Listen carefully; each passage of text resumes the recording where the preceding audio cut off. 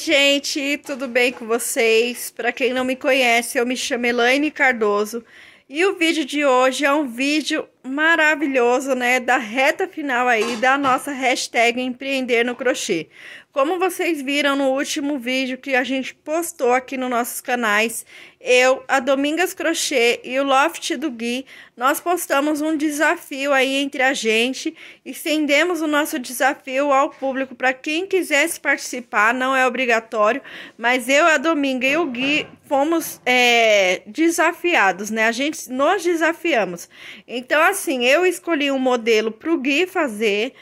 O Gui escolheu um modelo para Domingas fazer e a Domingas escolheu um modelo para mim fazer. E do, dentro dos modelinhos ela me deu duas opções de produção. Então eu vou estar tá começando aqui a minha produção. Eu separei esses cones aqui para estar tá fazendo o modelinho do desafio que a Domingas me deu. Eu amei o desafio, gostei muito do modelo, nunca tinha feito esse modelo e era um modelo que eu tinha vontade de fazer. Então, eu amei. Obrigada, amiga, por me desafiar a fazer esse lindo modelo. Então, eu vou estar tá usando aqui, ó, essa bar esse barbante cinza. Eu comprei agora, gente. Esse daqui é o, aquela marca Dorta. Eu nunca usei, é a primeira vez que eu vou estar tá usando ele. Então, se alguém já usou, depois deixem aí o comentário falando o que, que vocês acham desse, desse barbante, tá bom? E aí eu vou estar tá fazendo aqui com esse dorta cinza e eu escolhi esse rosa chá. Olha que combinação linda, né?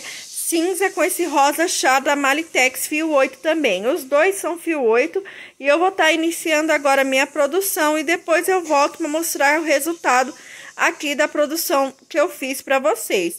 Mas antes de ir, eu já quero pedir para você que se você ainda não foi inscrito aqui no meu canal, que você deixe o seu like, que você se inscreva, tá bom? Assim o YouTube vai entender que você gosta desse tipo de conteúdo. E sempre que tiver vídeo novo, não se esqueça de ativar o sininho nas notificações todas que o YouTube vai compartilhar para você, tá bom? E fora isso, eu quero pedir também que vocês, depois desse vídeo, vão lá no canal da minha amiga Domingas Crochê e do meu amigo Gui, lá do canal Loft do Gui, para ver a peça linda que eles produziram aí do desafio.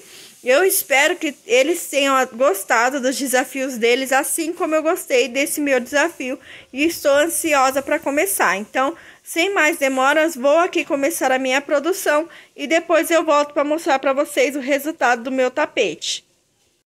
Olha aí, gente, voltei aqui para mostrar para vocês, né, o resultado do desafio da nossa hashtag empreender no crochê. É onde está participando eu, o meu amigo Gui Coutinho, lá do canal Loft do Gui, e minha amiga Domingas Crochê. Gente, é, vocês viram aí na semana passada, né, onde a gente postamos aqui um vídeo onde nós fizemos um desafio pessoal aí, né, nos desafiamos entre a gente. E o, a Domingas, que foi a minha, a minha a pessoa que me desafiou, né, foi a Domingas Crochê, e ela escolheu um lindo modelo, aonde eu vou estar mostrando aqui para vocês o resultado.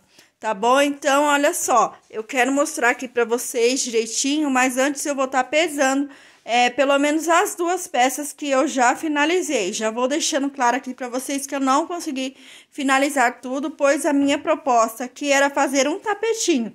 Porém, eu resolvi hoje, do nada, fazer um jogo de banheiro, porque é o que mais sai aqui é, no meu no meu bairro, na, é, as minhas vendas saem mais jogos de banheiro.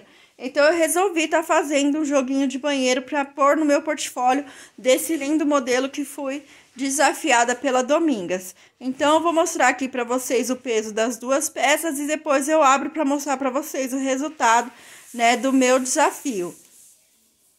Mas antes de eu mostrar para vocês, eu quero agradecer a todas as meninas e meninos que votaram tanto lá na comunidade quanto nos comentários do vídeo passado. Tivemos bastante comentários e já tem o um modelo preferido aí para a gente estar tá fazendo. Na caso, esse é o penúltimo vídeo da nossa série Empreender no Crochê.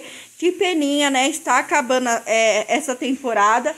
E a gente vai estar tá fechando com o desafio que vocês escolheram pra gente, tá? Então eu quero agradecer a todos que tiraram um tempinho para estar tá assistindo os vídeos, para estar tá comentando lá no canal do Guida Domingas, aqui no meu canal, e deixaram é o voto de vocês na peça preferida.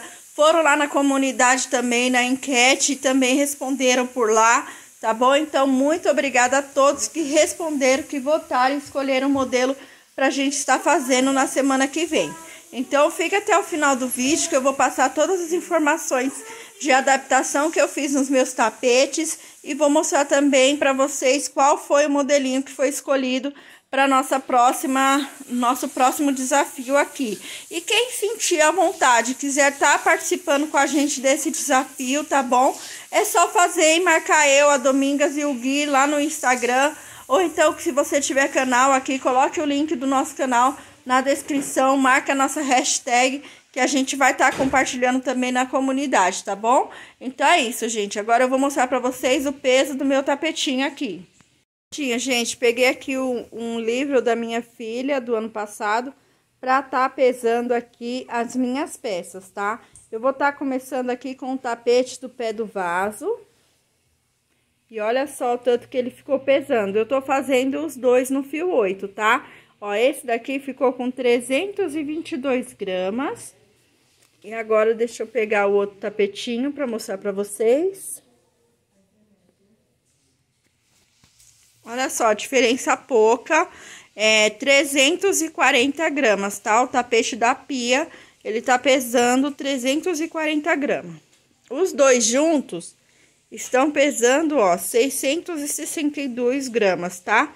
Então, é isso o peso dos meus dois tapetinhos que eu consegui concluir com vocês.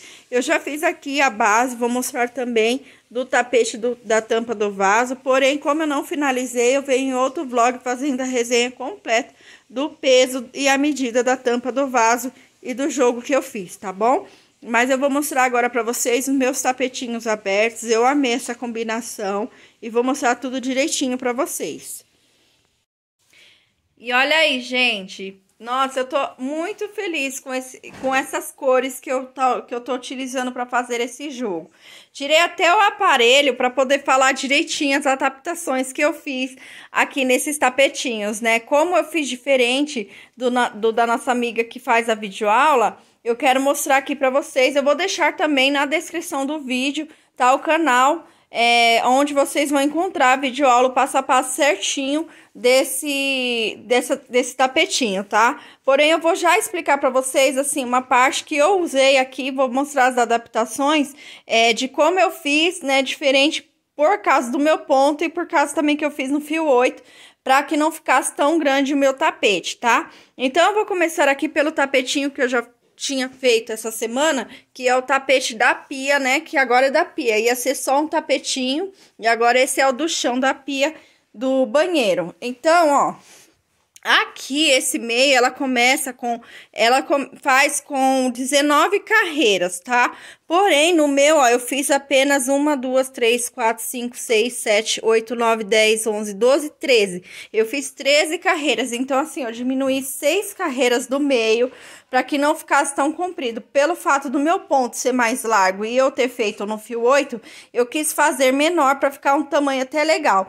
E olha só, o tamanho do meu tapetinho, antes de mostrar também a outra adaptação que eu fiz, ele ficou 67 centímetros de comprimento por 50 de largura, tá? Então ficou jóia, um tamanho bem legal aí para tapete, 67 por 50. Faltou 3 centímetros aí para 70 centímetros, que é o padrão que todo mundo usa. Então, esse tapete 67 por 50 ficou um tamanho excelente para mim. E as minhas clientes também gostam, porque nem todo mundo tem um banheiro tão grande. Então, esse ficou bem legal. E depois, se a cliente quiser encomendar, eu faço um tamanho um pouco maior, se ela preferir.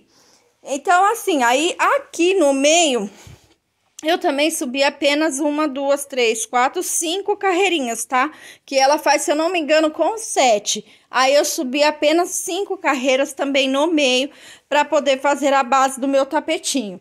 Então, essas foram, foram as adaptações que eu fiz no tapete da pia para que ficasse nesse tamanho de 67 por 50. Agora eu vou mostrar para vocês o tapete do pé do vaso, onde eu também fiz é, as minhas adaptações, tá? Deixa eu dobrar aqui esse, para ficar mais fácil para mim ler para vocês aqui, mostrar para vocês como que eu fiz as minhas adaptações. Eu fiz hoje esse tapete, tá, gente? Então, eu não arrematei ainda os fios, ele tá sem arremate. Porque eu inventei, quis fazer, né, hoje, na véspera de entregar o desafio aí para vocês, é, fazer o jogo de banheiro.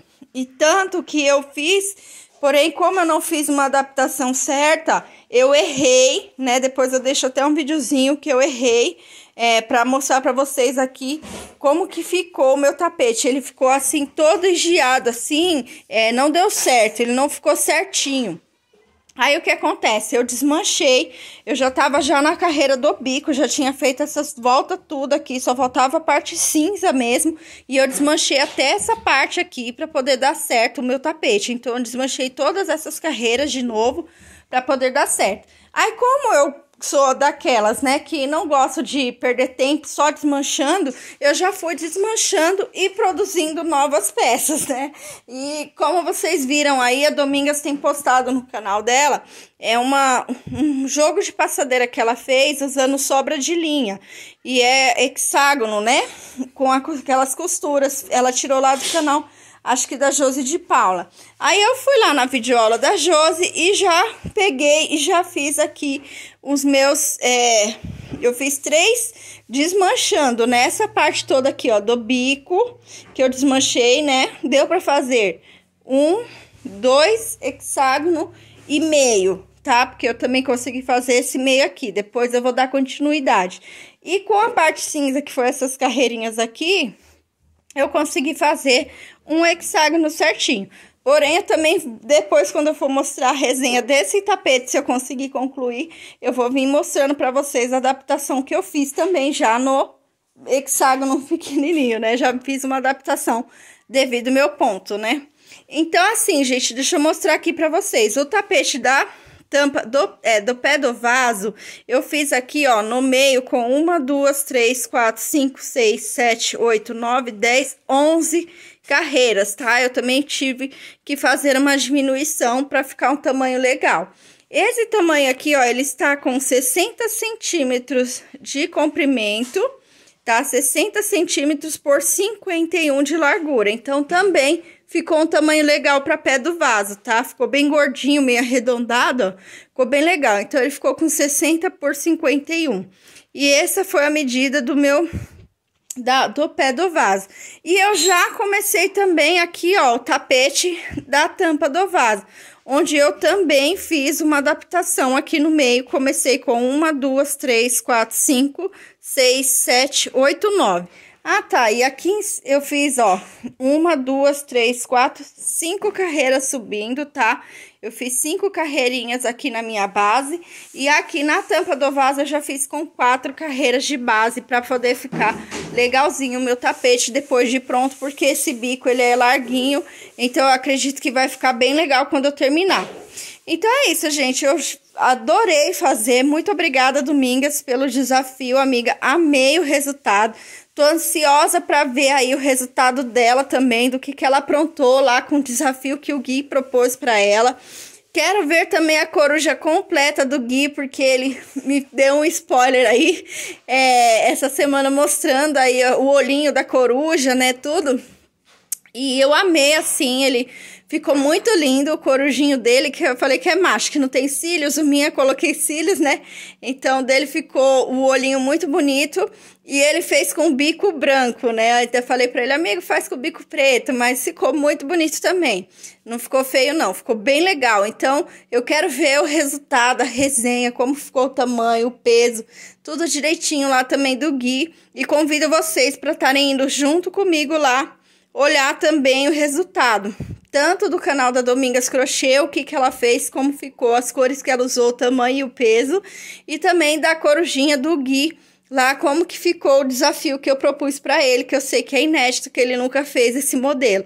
Então, bora lá pro canal dos meus amigos e eu quero agradecer de coração a todas as meninas que votaram, né? Como eu já disse lá no nosso, nas nossas enquetes, nos nossos canais, e teve um preferido aí, que foi o modelo número 1, um, tá? Então, a próximo vlog, vocês vão ver aí, a próxima produção minha, do Gui e da Domingas vai ser com o modelo 1.